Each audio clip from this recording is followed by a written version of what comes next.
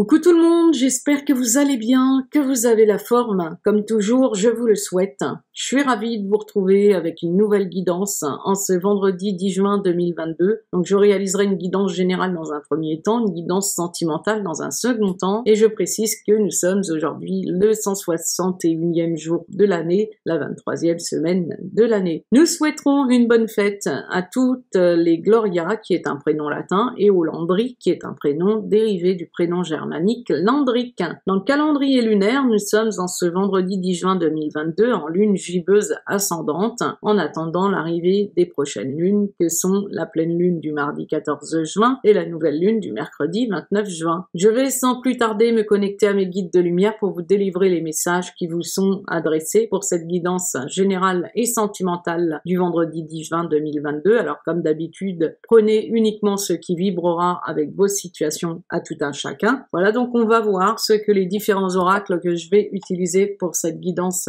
du jour vont vous annoncer. Donc je débute avec l'oracle Carcadane. Contrairement à ce que je fais d'habitude, je vais d'abord déposer toutes les cartes messages voilà que je vais vous dévoiler une à une. Mais voilà, je les tire devant vous, histoire que vous voyez que euh, je les ai pas tirées à l'avance. Voilà, donc je pose les languettes, euh, les cartes, une par une, jusqu'à ce que je les ai toutes, et je vais vous dévoiler les messages comme ça progressivement, pour gagner du temps en même temps sur la vidéo. Donc un conseil des anges, après la languette de Carcadane.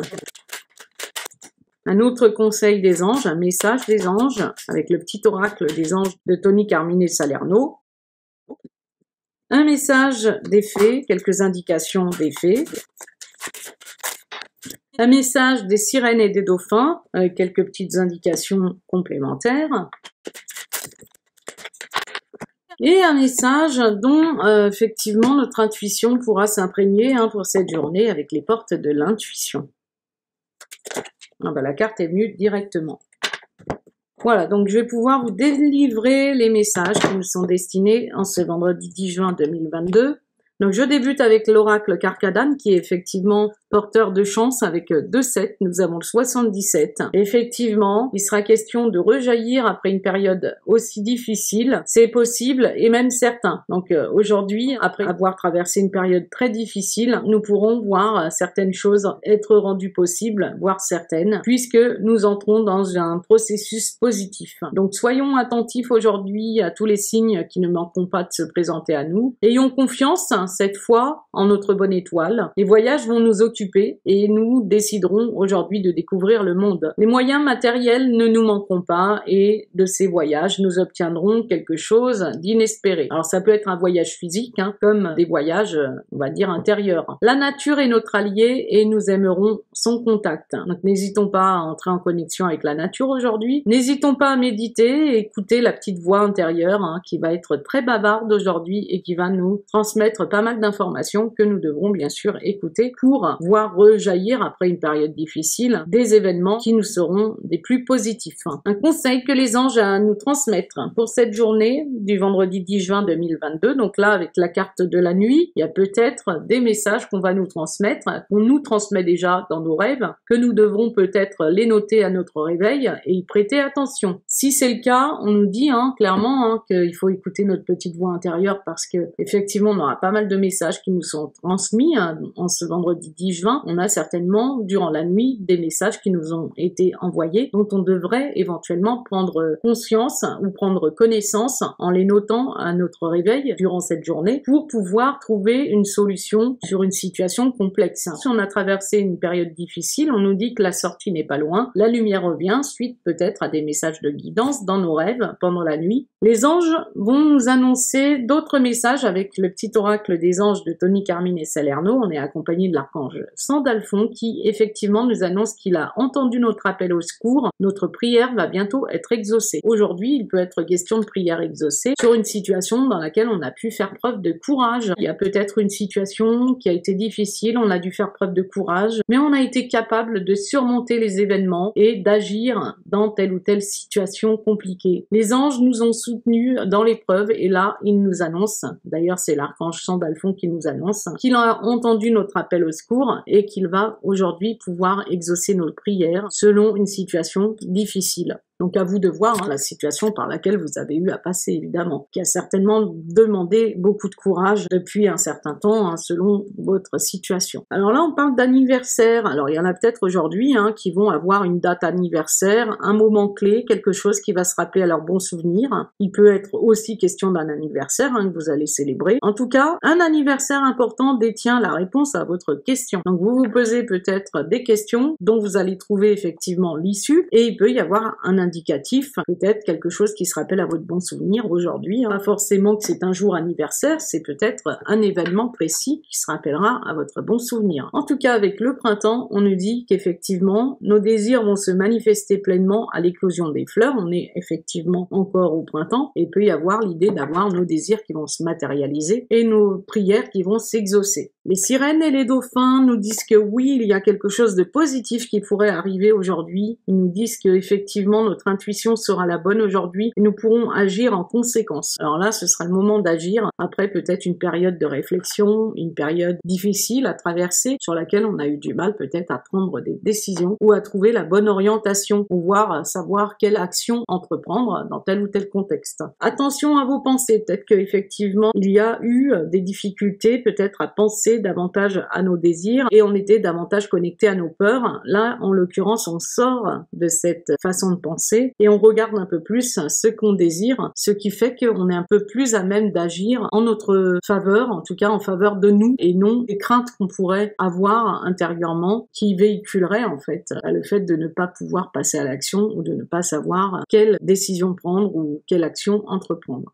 Notre intuition va se porter en ce vendredi 10 juin sur euh, peut-être voir libérer quelque chose, puisque là on a deux mains qui libèrent une colombe. Alors peut-être que vous êtes un peu plus en train de lâcher prise sur les attentes. Vouloir les choses intensément et sans impatience, c'est la clé de votre réussite. Peut-être qu'aujourd'hui vous serez un peu plus tranquille, peut-être à ne pas vouloir que les choses se produisent immédiatement dans l'heure. Peut-être que vous arriverez à profiter de l'instant présent en vous disant si les situations ne se débloquent pas maintenant, c'est que j'ai peut-être quelque chose à entreprendre en attendant, profiter de ce temps imparti pour penser justement à ce que vous voulez vraiment dans la vie et ce que vous attendez aussi de la vie, hein, ce qui est important pour vous, ce qui ne l'est pas. Voilà, il y a la fin du passé aujourd'hui, hein, tournez la page du passé. Vous avez un fabuleux potentiel à exploiter en ce vendredi 10 juin 2022. Donc il peut y avoir une énergie de renouveau, la fin des attentes par rapport au passé, la fin des situations difficiles et sombres. Voilà ce que je peux annoncer, donc c'est plutôt intéressant hein, message d'introduction. On va voir à présent ce que nous allons pouvoir obtenir dans un domaine général. Donc je vais procéder de la même manière. Comme ça, le tirage est un peu plus fluide et puis euh, voilà, bah, vous avez tous les messages euh, qui se succèdent sans avoir à attendre que je pioche les cartes.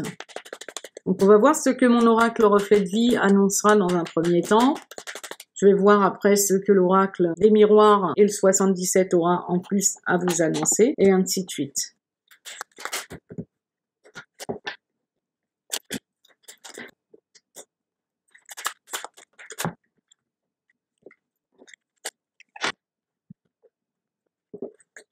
Voilà, donc j'ai posé les cartes. Je vais vous dévoiler déjà les cartes en dos de jeu, voir ce qu'elles ont à vous dire. Probablement, la situation difficile va être abordée avec les dos des jeux. Pour débuter, dans tous les cas, on vous annonce du triomphe qui probablement est en train de se présenter suite à des périodes difficiles que vous avez eu à rééquilibrer. C'est super, en connexion avec le chakra du plexus solaire. Il y aura suite à ces difficultés quelque chose qui va triompher par rapport à des compromis, donc un équilibre sur une situation aussi, trouver du juste milieu, sur un contexte. Avec la sagesse ancestrale, on a effectivement les guides hein, aussi avec cette carte. Donc effectivement, il y a quelque chose qui a été guidé sur des situations compliquées, des situations qui vous ont demandé d'être un peu plus méfiant par rapport à des conflits que vous aviez. Si vous êtes un homme, peut-être que vous avez des conflits juridiques ou autres, que ce soit un peu plus sur le plan personnel également. Là, en l'occurrence, s'il y a des compromis, il y a une situation qui se rééquilibre, qui se stabilise et qui triomphe peut-être par rapport à votre passé. On vous dit qu'effectivement, la solitude, bah, c'est tout simplement simplement une situation qui a été quand même assez pénible. Hein. On a avec les pierres et la pente quelque chose d'assez désertique.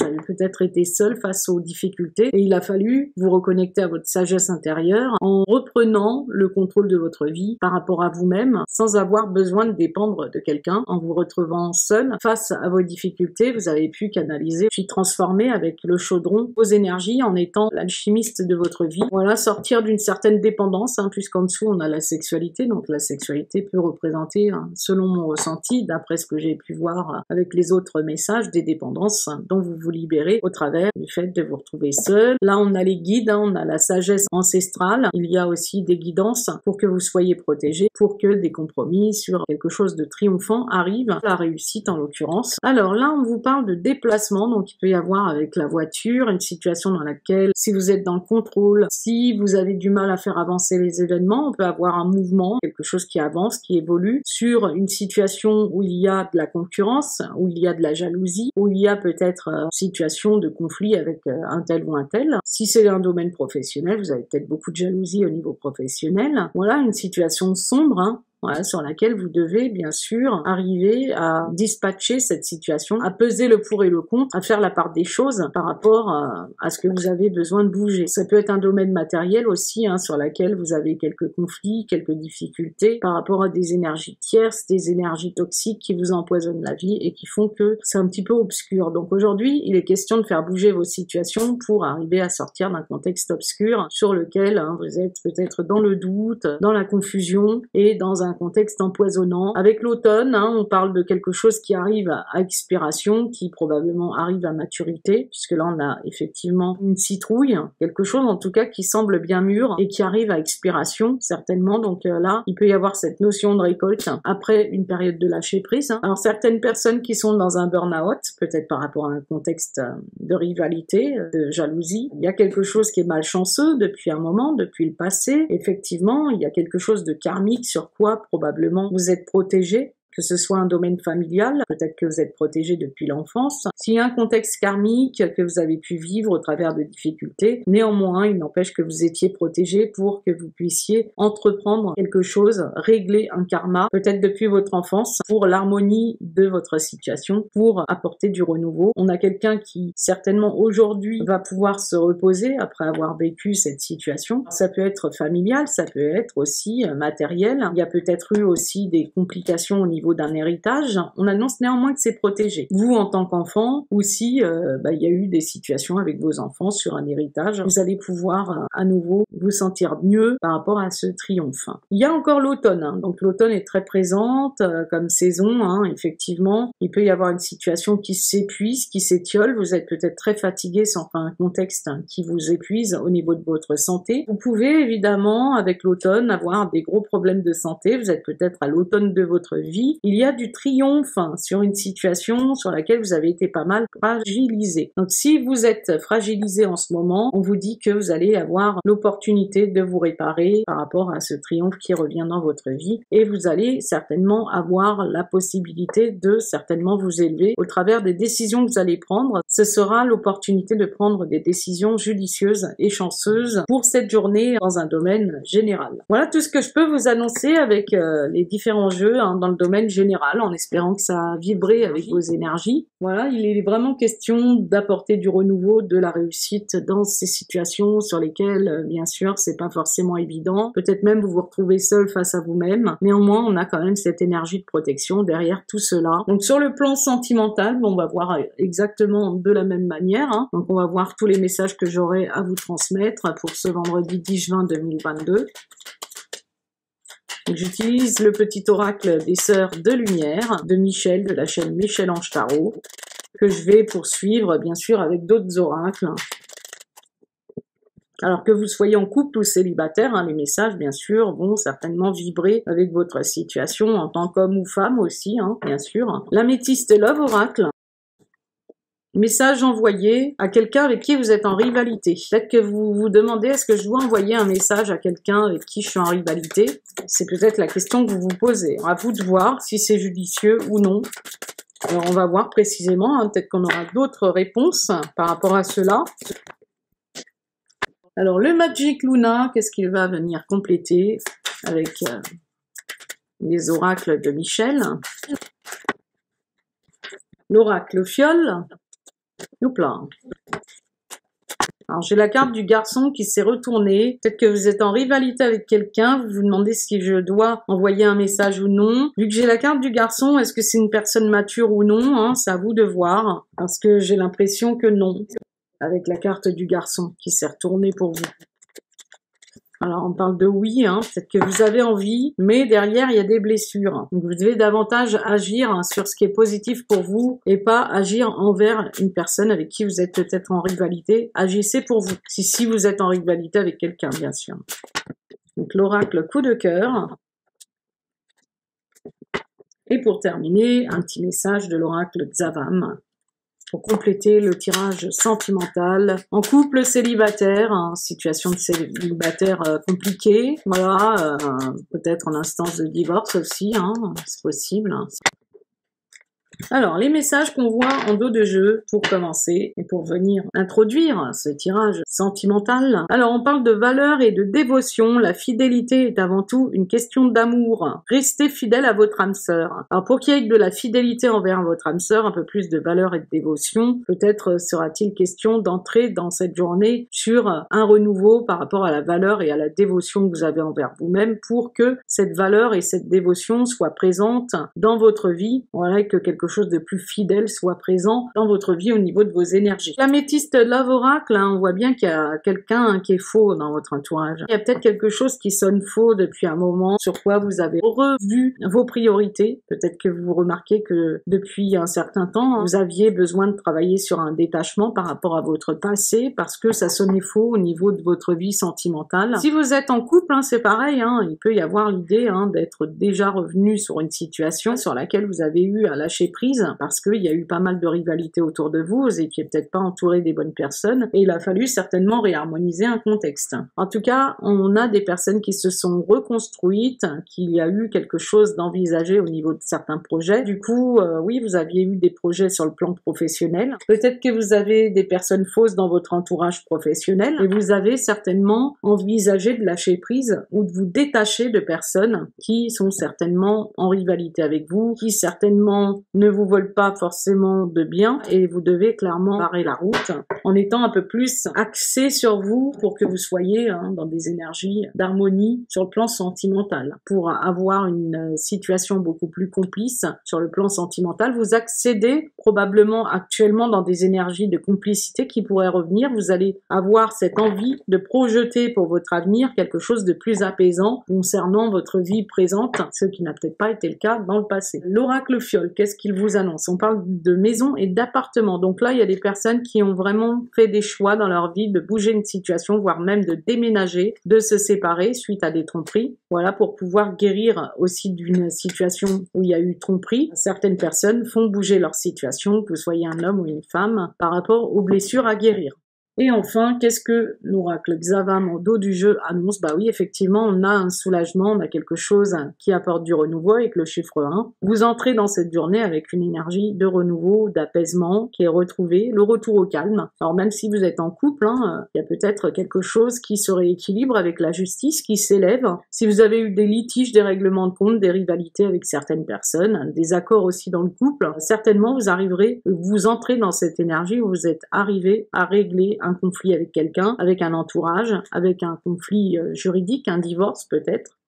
Voilà, en tout cas, vous avez des retours qui ont eu lieu dans votre vie par rapport à ce qui s'est passé dans votre vie. Voilà, ce qui vous permet clairement hein, de vous ouvrir à du renouveau parce que certaines choses auront été balayées hein, dans les énergies. Hein. Voilà, c'est des énergies générales, je le rappelle, donc certaines personnes ont pas mal balayé devant leur porte pour être sûres de là où ils doivent se situer au niveau sentimental. Aujourd'hui, certaines personnes sont dans ces énergies de renouveau que je viens d'annoncer avec les cartes en dos de jeu. Donc du coup, il y a cette nécessité évidemment. Si c'est pas le cas, bah, de voir comment vous pouvez faire pour euh, vous sentir le plus honnête et franc vis-à-vis de vous et d'être un petit peu comme ce diamant brut que vous allez tailler hein, au fur et à mesure que vous allez ouvrir votre cœur et ouvrir la porte à quelque chose de plus sincère par rapport à votre cœur en laissant votre cœur s'exprimer et dire votre vérité pour être comme ce diamant brut, un être authentique. On vous dit que l'authenticité, la noblesse du cœur. Donc il y a vraiment cette notion d'être dans une certaine honnêteté, authenticité, que ce soit dans une relation existante ou que ce soit par rapport à vous-même, parce qu'effectivement, avec le gros point d'interrogation, il est question de réfléchir à cela. Est-ce que vous êtes franc et honnête envers vous-même? Est-ce que vous avez du recul nécessaire sur une situation dans laquelle vous êtes un petit peu dans le doute, la confusion? On parle de personnes jeunes. Peut-être que vous avez besoin certainement d'apporter un souffle nouveau à cette période de confusion. Peut-être que vous avez été manipulé, peut-être que vous êtes avec quelqu'un qui est un petit peu immature, ou peut-être que vous êtes un peu naïf aussi, si c'est le cas. Vous êtes peut-être jeune, ou si vous l'êtes pas, ou moins jeune que la jeunesse, on va dire, vous n'avez pas la vingtaine, vous êtes peut-être un peu naïf, et vous devez peut-être voir être le plus franc et honnête envers vous-même, que vous soyez un homme ou une femme, pour attirer à vous des énergies plus lumineuses, un rayonnement qui doit revenir, et sortir d'une situation émotionnelle où le mental va prédominer, où euh, vous allez avoir des blocages, vous n'allez pas forcément savoir quoi faire pour pouvoir vous élever, et bien sûr, il faut bien sûr faire un travail de canalisation au niveau des pensées pour éviter bah, toute forme d'instabilité, d'inconstance, et qui peuvent bien sûr vous demander de faire un travail euh, peut-être sur euh, les schémas familiaux, comment vous avez été élevé depuis votre jeunesse, et puis aussi qu'est-ce qui se passe dans votre famille actuellement au niveau sentimental, l'analyser de très près et sortir du mental pour attirer à vous quelque chose de meilleur et de plus franc, de plus honnête, de plus aligné et qui soit moins dans le doute selon bien sûr le bloc de cartes qui se présente à moi. Hein. Voilà, je vous le traduis de cette manière, mais c'est à vous de voir en fonction de comment vous voyez les choses avec la famille, la personne jeune. Il y a peut-être des conflits, des inconstances liées au domaine familial, avec vos enfants aussi, hein, et vous savez pas trop comment faire, comment vous y prendre, comment vous y prendre pour attirer quelque chose de plus épanouissant, voilà, qui vous sorte euh, du doute. En tout cas, on vous invite à la prise de recul et à être le plus franc et honnête envers vous-même. Alors là, on a des personnes qui vont certainement faire preuve de plus d'autorité sans pour autant élever la voix et faire face à leurs devoirs et leurs responsabilités. Donc vous allez vous responsabiliser dans votre vie sentimentale pour trouver l'épanouissement. En tout cas, il vous appartient d'être chaque jour meilleur. Vous allez faire peut-être un travail sur vous pour être la meilleure version de vous-même. Il peut y avoir un coup de foudre qui arrivera suite à ça. Si vous êtes la meilleure version de vous-même, vous attirez à vous de manière inattendue soit une nouvelle relation ou tout simplement il se peut que euh, bah, y ait à nouveau des événements soudains qui reviennent parce que vous serez la meilleure version de vous-même pour aujourd'hui. Il y a quelque chose de toute façon qui va vous être annoncé. Effectivement, tout ce que vous envoyez à l'univers va vous revenir. Avec l'annonce, hein, c'est un peu ça. En tout cas, avec l'annonce, on peut avoir quelque chose qui arrivera et ce sera quelque chose qui est comme de l'ordre euh, de l'inévitable. C'est un peu ça. Hein. C'est comme un jugement, c'est comme une suite logique de ce qui va vous être annoncé si, bien sûr, vous faites preuve de responsabilité et vous entreprenez un travail pour être la meilleure version de vous-même. Alors c'est effectivement quelque chose qui vous est annoncé et qui vous a certainement demandé de faire un travail sur euh, peut-être euh, une certaine patience, sur une situation sur laquelle vous étiez pas forcément en mesure d'agir. Eh bien là, je pense que vous allez vous exprimer un peu plus et sortir d'une certaine emprise. Alors il peut y avoir une emprise amicale hein, dans votre relation de couple actuelle ou une emprise de quelqu'un bah, qui peut-être vous bloque sur euh, ce que vous devez faire pour attirer à vous ce que vous souhaitez attirer. Voilà, en tout cas, il est question d'hurler haut et fort, hein, ce qui est important pour vous, et de dire, euh, voilà ce que vous avez à dire aussi. Prendre les responsabilités de dire et d'annoncer ce que vous avez besoin d'annoncer. Que ce soit aux amis, à la famille, aux personnes que vous côtoyez, pour attirer à vous le renouveau hein, au niveau sentimental, et surtout, soit faire une nouvelle rencontre, ou encore être mieux dans votre relation de couple actuelle. Il y a peut-être la crainte d'être trompé, les trahisons et les insatisfactions que vous avez traversées, et vous avez peut-être tout simplement peur d'être trompé, et peut-être que vous n'arrivez pas à communiquer clairement. Du coup, vous attirez à vous hein, des relations qui sont peut-être infidèles. Votre but, c'est de faire preuve de responsabilité, de prendre vos responsabilités pour bien exprimer ce que vous avez envie et ne pas retomber peut-être euh, dans une emprise sur une infidélité, quelqu'un qui est déjà en couple ou quelqu'un avec qui eh ben, il y a juste une relation dit sex friend suite à des coups de foudre. Donc voilà, n'hésitez pas à annoncer haut et fort que vous souhaitez clairement quelqu'un qui prend ses responsabilités. Pour les personnes qui ont été trompées par leur partenaire de vie, il sera bien aussi bah, peut-être euh, de dire et fort hein, que vous n'aspirez plus à une relation de ce type. Enfin, là, on voit bien réconfort et réconciliation, donc il peut y avoir des personnes qui vont s'apprêter à ressentir des papillons dans le ventre, il peut y avoir des émotions qui vont revenir sur le plan sentimental, des retrouvailles hein, que vous allez avoir. Alors soit ça peut être des réconciliations avec l'amour ou euh, des réconciliations avec quelqu'un. En tout cas, on ressent une transformation nette et il y a peut-être des mères de famille. Maintenant, il peut y avoir une réconciliation avec quelqu'un avec qui vous avez eu déjà des enfants. Si il y a la réconciliation avec l'amour, peut-être euh, vous avez fait un travail pour pouvoir évoluer, vous transformer par rapport à votre euh, éducation hein, et peut-être par rapport à la mère. Hein. Il y en a peut-être qui sont un peu plus dans le réconfort parce qu'il y a eu peut-être une situation avec la mère de famille qui n'allait pas ou qui n'a pas été forcément un bel exemple. On voit que rapidement il va y avoir une progression, quelque chose qui va se présenter rapidement et on voit bien avec euh, les plumes hein, qu'il y a de la protection. Alors certes on peut ressentir quelque chose de léger qui va revenir, quelque chose qui pourrait s'alléger hein, et qui est protégé néanmoins. Tout ce qui est un peu négatif, hein, je pense que vous allez l'exhumer rapidement parce qu'il y a une progression. Euh, oui, il sera question de peut-être euh,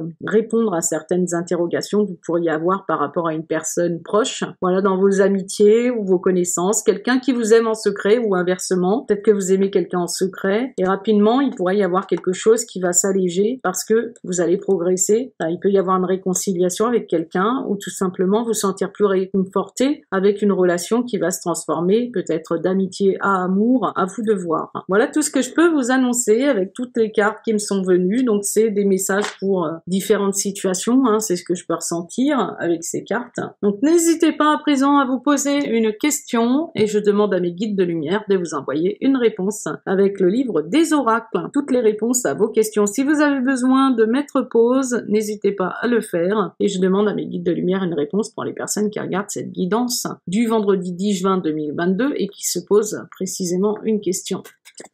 On est en connexion avec le tarot, avec le chariot qui indique la victoire sur l'adversité. Alors effectivement, hein, depuis le début du tirage, on voit qu'il y a de la victoire sur les difficultés, sur l'adversité. La réponse à votre question est clairement oui, on dénote clairement une avancée rapide et on annonce clairement que cette situation sur laquelle vous vous posez des questions va bientôt obtenir un éclaircissement et une réponse positive et favorable en fonction de ce sur quoi vous souhaitez peut-être avoir une réponse dite je vous souhaite une excellente journée en ce vendredi 10 juin 2022. Je vous souhaite le meilleur dans votre vie. Prenez soin de vous. N'hésitez pas, bien sûr, à me laisser quelques petits messages qui me font toujours plaisir à lire. Voilà, je vous souhaite une très très belle journée et je vous dis à très bientôt pour une prochaine guidance. Gros bisous à tous.